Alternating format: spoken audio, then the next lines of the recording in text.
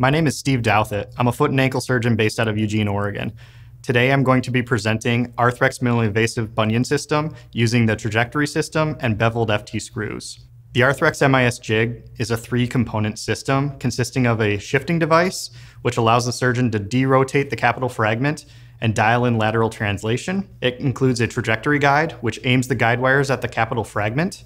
Arthrex also has beveled FT screws these come in 3.5 and 4.0 millimeter diameter. The screws have a 45 degree beveled head that avoids screw head irritation.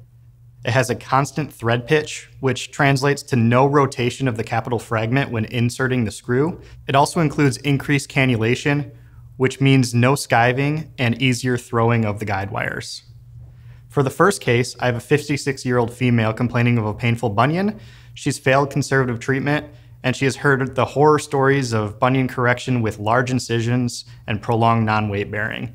Clinically, she has a large bunion with a medial eminence that's rubbing on her shoe gear, a great toe that abuts the second toe, and radiographically, she has an increased intermetatarsal angle, an increased hallux valgus angle, and a wide forefoot. My plan for this patient was to use the Arthrex minimally invasive bunion system, including the jig, and also using an Arthrex 2.5 millimeter FT comp screw for the Akin. Here you can see I've created my osteotomy and I'm inserting the shifting device in line with the metatarsal declination angle. I then pin it in place after derotating the capital fragment. Next, I'm able to translate the osteotomy. Afterwards, I attach the trajectory guide to the shifting device. Here you can see the trajectory with the drill sleeve against the first metatarsal base. Here you can see my guide wire placement. The proximal guide wire is bicortical, and the distal one is parallel using the MIS jig. Next, I insert the screws. You can see that they're not prominent. They're flush with the medial cortex of the first metatarsal diaphysis. Postoperatively, the patient has a decreased intermetatarsal angle, a decreased hallux valgus angle, and derotation of the capital fragment. The metatarsal width is also noted to be much lower.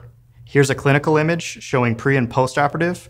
The patient still has some swelling over the medial eminence as this is only seven days postoperative. Here's the radiographic comparison showing derotation of the capital fragment and rectus alignment of the first ray. For the second case, I have a 65 year old female that complained of a painful bunion. She has trouble wearing shoes, and you can see that her medial eminence is red from rubbing on her shoes. Additionally, she has a laterally deviated great toe that abuts the second toe. Radiographically, she has metatarsus adductus, an increased intermetatarsal angle, an increased hallux valgus angle, and a wide forefoot. For this case, I addressed the medial prominence, metatarsus adductus, and frontal plane rotation, all using the Arthrex MIS system with the jig. For the fixation, my plan was to use the 3.5 fully threaded screws, and for phalangeal fixation, using an Arthrex 2.5 fully threaded compression screw. Here you can see me creating the osteotomy and inserting the shifting device in line with the first metatarsal declination angle. I attached the trajectory guide and advanced the guide wires. This is me fixating the first metatarsal and the Akin osteotomy. Here's my dressing technique. I often don't even use stitches while doing an MIS bunion, and I use a steri-strip to splint the digit into a rectus position. Postoperatively, the patient has a drastically improved intermetatarsal angle, a derotated capital fragment, and a rectus first ray. Here you can see x-rays comparing the patient preoperative with four weeks postoperative. She has a decreased intermetatarsal angle, a straight first ray, derotation of the capital fragment, including fibular sesamoid covering, along with no screw head prominence. This is a clinical image comparing the patient preoperatively and four weeks postoperatively. She still has some swelling, but the first ray is noted to be rectus. This shows range of motion at four weeks postoperative, the patient's in sneakers at this visit and doing excellent. My postoperative protocol for these patients is weight bearing in a postoperative shoe at day one.